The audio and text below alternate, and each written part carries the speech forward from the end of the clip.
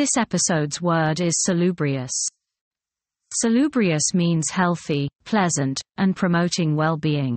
For example, going for a walk outside in the fresh air on a sunny day can be a salubrious activity because it is good for our physical and mental health.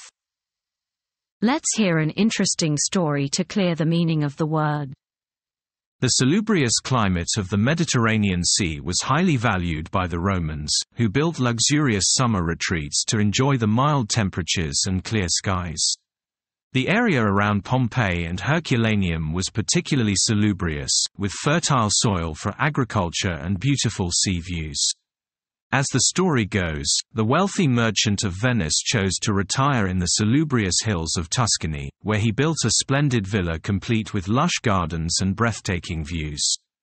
In the 19th century, the salubrious air of the Swiss Alps became popular as a health destination for those suffering from tuberculosis and other respiratory ailments. The clear mountain air and peaceful surroundings were believed to be salubrious for both the body and the mind.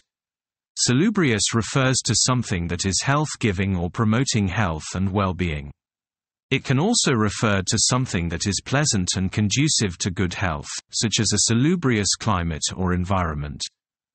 We hope you enjoyed the episode, and the meaning of word salubrious is crystal clear. Do subscribe to our channel for more such episodes. Thank you for listening.